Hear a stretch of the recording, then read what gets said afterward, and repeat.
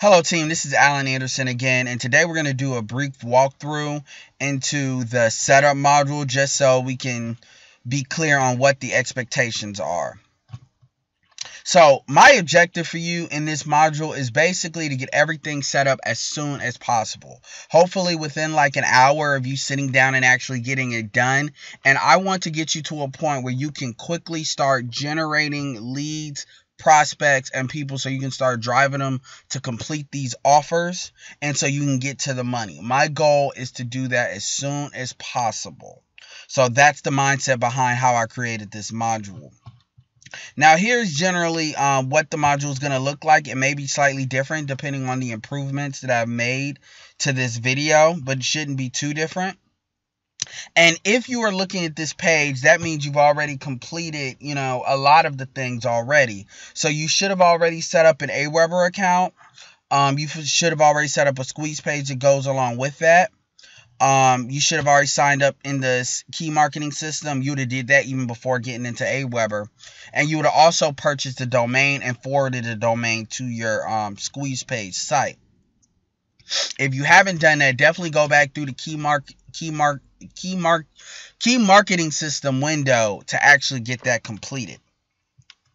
Now, um, the main thing that this module is really going to help you with is not only is it going to show you how to download your emails, but it's also going to show you how to quickly customize them too. So it's kind of like a default template that will allow you to um you know, just get it out there, get it done, but tie it to your own social media pages, your own cell phone, so you're um, reaping the rewards from that. And then another thing is, I'm going to give you a couple of walkthroughs of how to get a PayPal card, how to get it today, and how you can go to your nearest neighborhood store and get that done, um, like Her Drug or Walgreens.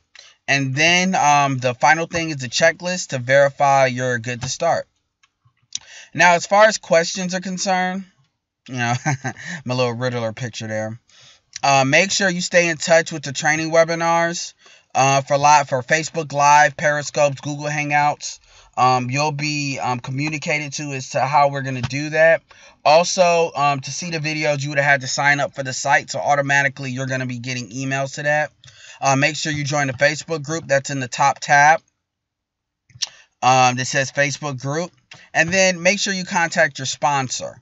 Um, you know, get a relationship with them. Chances are they've already, um, even if they're not making money yet, which they should be, they're already, um, you know, doing some things and actively trying to make money. So there's some tips and stuff they can help you with, some things they've experienced, and you all can work together. This is all about collaboration. We're in business buyers for yourself, but not by yourself. That's very important.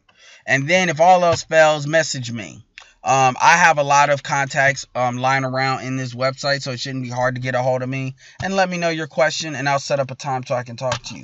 Understand there's going to be a lot of people in this group, so I'm not going to have time to talk to everyone.